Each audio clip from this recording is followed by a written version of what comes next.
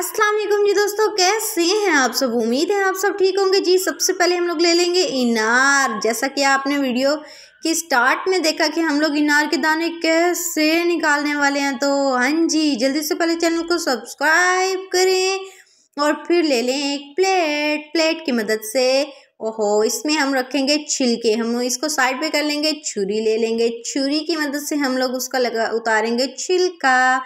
और अब ले लेंगे एक मोस्ट इंपॉर्टेंट स्पून मतलब कि चम्मच। तो चम्मच की मदद से हम लोग अच्छे से इनार के सारे दाने निकालेंगे और पता है ना, इनार में एक दाना ऐसा होता है जिसमें जन्नत के पानी का कतरा होता है। तो हम लोग इनार को कैसे निकालेंगे? हम लोग इसका आसानी से ऊपर से ये वाला छिलका उतार लेंगे। किसी भी दाने को छुरी नहीं लगनी चाहिए, नहीं तो फिर सारा जूस जूस निकल जाएगा इसका। तो हमने बिल्कुल भी इसके दाने खराब नहीं करने, हमने बहुत ही अच्छे तरीके से इनार खाना, इनार को वैसे एक बंदे को पूरा इनार खाना चाहिए, ताकि इसमें जो वो जन्नत का पानी का कतरा है ना, वो किसी एक इंसान के अंदर ही चला जाए तो क्या भाई, क्या एक खुशकिस्मती वाली बात है। तो लेकिन इतनी महँगाई में इनार खाया भी नहीं जाता, बहुत ही महँगे इनार हैं तो जी हुकूमत के वैसे काम चेक करें। जो अच्छी चीज़ें हैं, जो बहुत ही कमाल की चीज़ें हैं, जैसे देसी घी हो गया, इनार फ्रूट वगैरह, जो भी हैं फ्रूट्स वगैरह हो गए, ये महँगे हैं। मतलब कि बादाम, अखरोट वगैरह, ये महँगे हैं। हम लोग ये ना खिलाएँ अपने बच्चों को। हम लोग वो पाँच पाँच रुपए वाली बंटियाँ खिलाएँ। बुरी चीज़ें सस्ती हैं और जो अच्छी चीज़ें हैं, वो महँगी हैं, ताकि कोई बंदा खाए ही ना।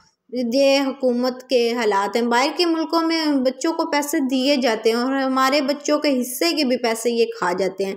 इनको अल्लाह ही पूछेगा, अल्लाह ताला इनको हदायत ही दे और हमें हराम से बचाए और हलाल ही खिलाता रहे। तो जी, कैसे हम बात कर रहे थे, इनार निकाल रहे थे तो हम लोग इसके साइडों पे सारे चार पाँच टक लगा लिए हैं और हम लोग बिल्कुल भी जो अंदर दाने हैं, उनको टक नहीं लगने दिया, बिल्कुल भी छुरी नहीं लगने दी।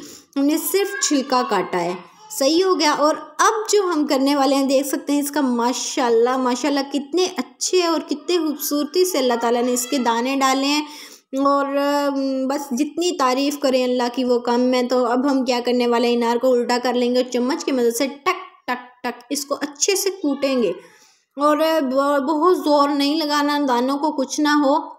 नहीं तो ये बिल्कुल ही इसका वो दाने ख़राब हो जाएँगे इसके। तो हम लोग ऐसे इसके अच्छी, अच्छे तरीके से हमने दाने सारे निकाल रहे हैं। लाइव हम आपको करके दिखा रहे हैं, जैसा कि आपको नज़र आ रहा है। तो कैसी लगी आपको हमारी ये ट्रिक इनशाला इनशाला आपके लिए बहुत फ़ायदेमंद साबित होने वाली है और हमारे चैनल को भी विज़िट करें। आपको बहुत बहुत अच्छी टिप्स मिलेंगी। और जी, अभी के लिए अल्लाह हाफिज़ फ़ी मान अल्लाह। और हमारी वीडियो आगे शेयर करें ताकि इनार का मौसम है और सब ऐसे ही अच्छे तरीके से इनार को निकाल के खाएँ और मज़े लें जी अभी के लिए बाय